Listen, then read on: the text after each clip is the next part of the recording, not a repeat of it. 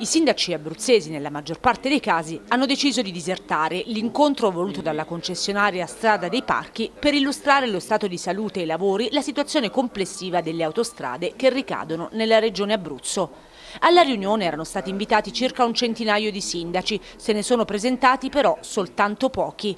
I rappresentanti dei comuni di Teramo, Chieti, Avezzano, Borgorose, Celano, L'Aquila e il sindaco di Pescara. Alcuni sindaci in realtà già avevano annunciato che non sarebbero stati presenti e lo aveva confermato il sindaco di Cazzoli, Velia Nazario.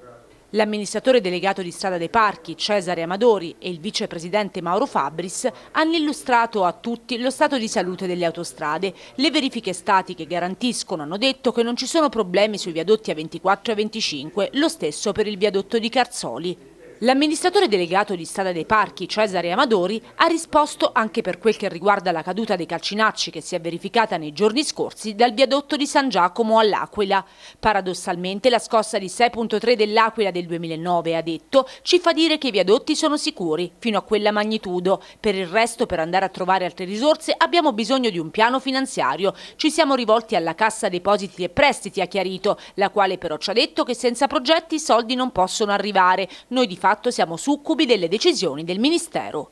Dal novembre 2016, ha detto pure Ramadori, ci sono 300 milioni di lavori urgenti con progetti approvati fermi al Ministero che non possono andare avanti per mancanza di risorse. I sindaci presenti hanno chiesto le condizioni di salute dei piloni e dei viadotti perché lo stato di ammaloramento a prima vista si vede. L'amministratore delegato ha voluto tranquillizzare tutti, riferendosi appunto agli ultimi distacchi di cemento all'Aquila, spiegando che delle cadute d'intonaco possono preoccupare ma sono insignificanti rispetto ai problemi strutturali o sismici. Eh, Autostrada per i Parchi ha investito moltissimo in questi anni, oltre 700 milioni tra investimenti appunto e lavori di manutenzione ordinaria.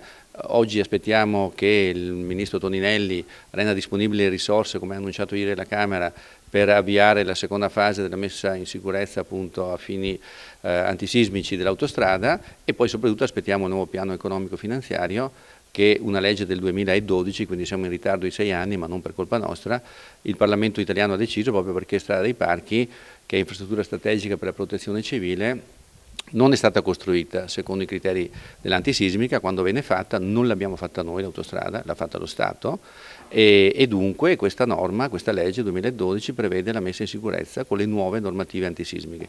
Come abbiamo detto più volte l'autostrada è sicura in condizioni di esercizio normale, l'autostrada ha bisogno di essere messa in sicurezza antisismica perché a fronte di terremoti importanti come quelli che purtroppo abbiamo avuto sull'Aquila eh, queste garanzie non ci sono.